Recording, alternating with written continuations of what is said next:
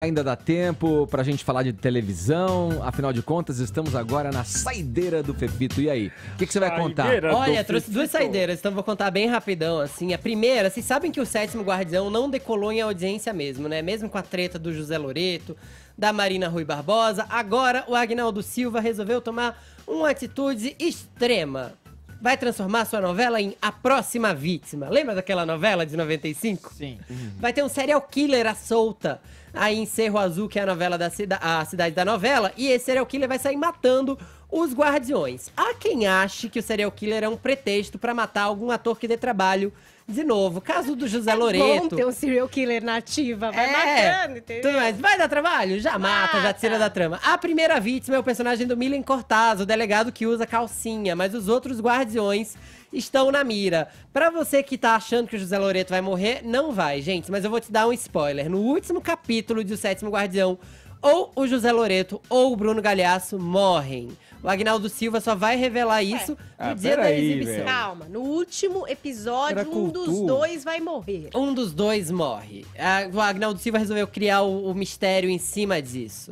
E aí, o serial killer agora está solto e é mais uma tentativa de levantar a audiência de uma novela que tá complicada, né?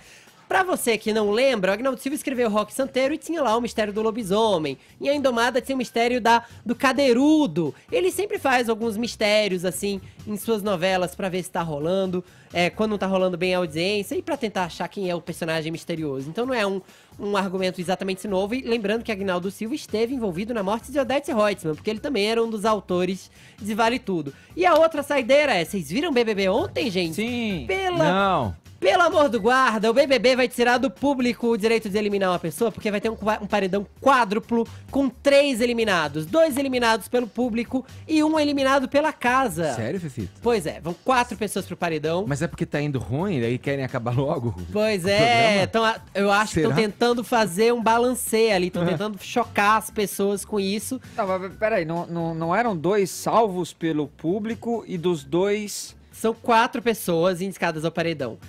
Saem duas pessoas e os dois salvos pelo público, os dois que tiverem menos voto pra sair ou mais voto pra ficar, eles vão se- deci- ter o futuro decidido pela casa. A casa vai decidir qual dos dois elimina numa votação aberta. Vamos ficar bem curiosos por esse paredão de terça-feira, sim senhor.